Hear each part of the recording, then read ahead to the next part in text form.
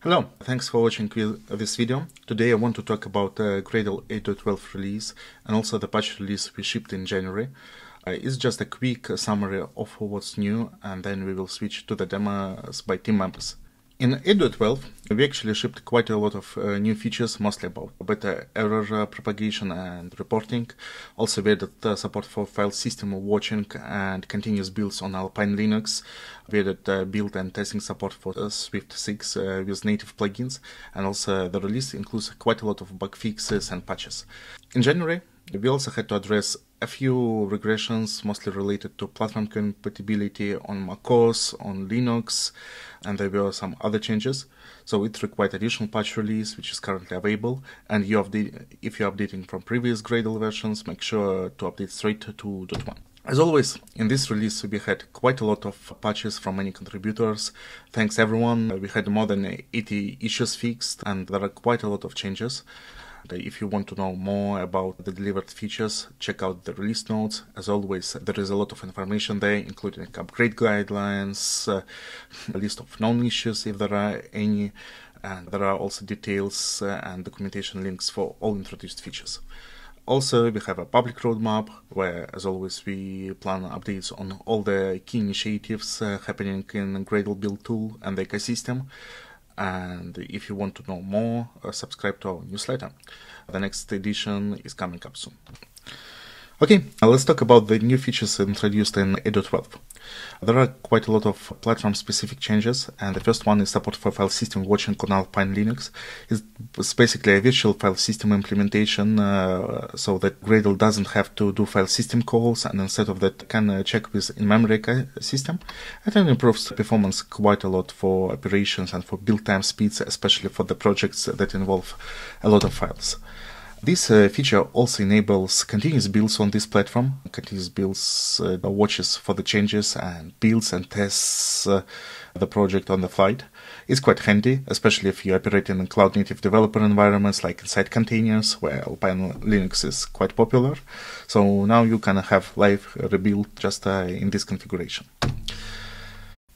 Okay, and the next one is support for Swift 6. It's a new version that was introduced uh, last year, and this version basically a new language version which caused quite a lot of incompatible changes, quite a lot of tooling changes. So it was required to actually do some support on our side, and this is what we did in this release. So now you can build Swift, Swift applications or libraries by using the latest version.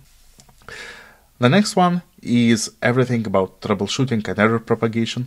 So we got quite a lot of improvements in problems API and HTML summarization for that. And also there are additional uh, troubleshooting uh, capabilities. So I will let the team to do the presentation. And we start with problems API. Gradle has an incubating API to report problems during the build. The API is being used by several components in Gradle. Java compilation, dependency resolution, and more. In addition, we expect the API to be adopted by third-party plugins after maturation. In Gradle 8.12, we integrated the Problems API with build failures. If a Gradle build fails because of a problem report, the build failure message is enhanced with the report details. And now, beta HTML reports. In a previous release, we introduced a summary HTML page that is displayed at the end of the build. In Gradle 8.12, we made it more robust by removing the entries that reoccur many times during the build. The summary HTML document contains the information of exactly how many entries were skipped. Thanks, Donald. And now let's speak about artifact transforms uh, and better error detection there. Okay, so the floor is yours, Tom. Artifact transforms are an important Gradle concept that is heavily used in the Android ecosystem. They are used to satisfy dependency resolution requests when a component's existing variants are not compatible with the requested attributes. Transformations contain actions that do work to modify a variant's artifacts, and these actions produce new artifacts identified by a changed set of attributes. Multiple transforms can be run in sequence to produce a chain of transformations that will ultimately satisfy a request. These transformations are not prioritized in any way, so if two different equal-length sequences of transformations that produce the same result exist, Gradle has no way of knowing which one it should use. This case should produce an ambiguity failure. As each transform likely does very different things, producing different outputs, Gradle can't just pick one. It doesn't have any way to determine which transformation chain is intended, since these are not prioritized in any way. Previously, in some cases, Gradle actually didn't fail when it should have. Sometimes, when multiple distinct, potentially correct transformation chains existed, Gradle did just arbitrarily pick one. This is a problem, because in addition to not knowing if the actions in the selected chain were the ones intended by the build author, if a new artifact transform was later added to the project, Gradle may or may not silently switch to using it as part of a different selected chain of transforms. This would produce different artifacts to satisfy the same dependency resolution request, and potentially could cause very difficult to understand and difficult to debug situations. In addition to the wrong behavior, in cases when Gradle did detect ambiguity, the failure message it produced was not helpful.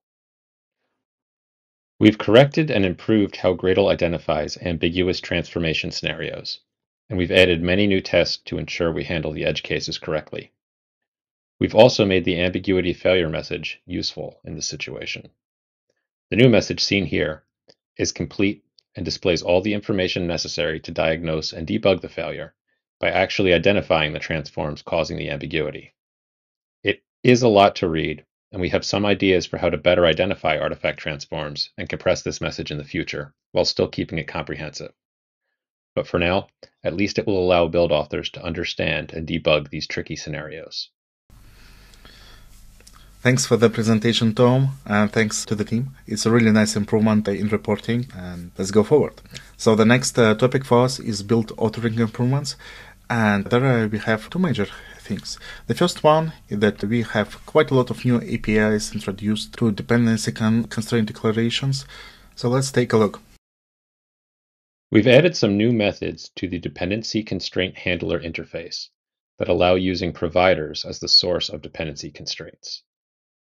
Previously this was possible, but it was not obvious in the weakly typed methods in the old API. Here you can see examples of using the new API versus the old one.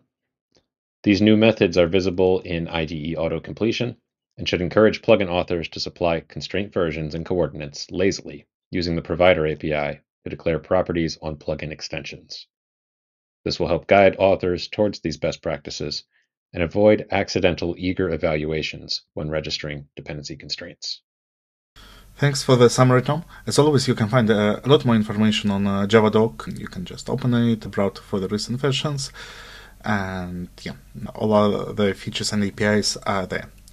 Speaking of APIs, uh, there is a, another update, service reference properties, which are now stable, and Raphael will present on what it means and also give a short demo. So let's go ahead. In this release, we are promoting service reference properties to stable. Service references were introduced in Gradle 8, and they are the easiest way of consuming shared build services. One of the benefits of using service references is that you no longer need to explicitly declare that your task uses some service. That's done automatically for you. Also, service references implement service injection, so you no longer need to assign the service reference to the property either. All right, so uh, let's update a plugin that used to use the internal annotation for declaring a task property for consuming a shared build service and use the new service reference annotation. First thing you need to do is to change the task implementation itself. We replace the internal annotation with the new service reference annotation.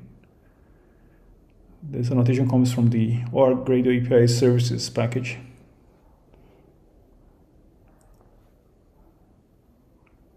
All right, this is it.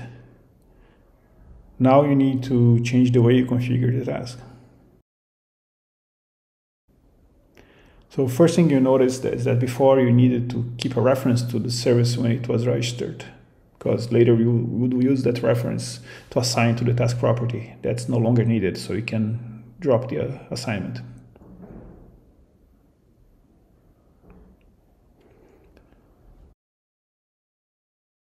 You don't no, longer need to explicitly assign the reference to the task property because it's injected. And also, you don't you don't need to explicitly uh, declare that that task uses the, the service because that's also automatic. That's it. We're done.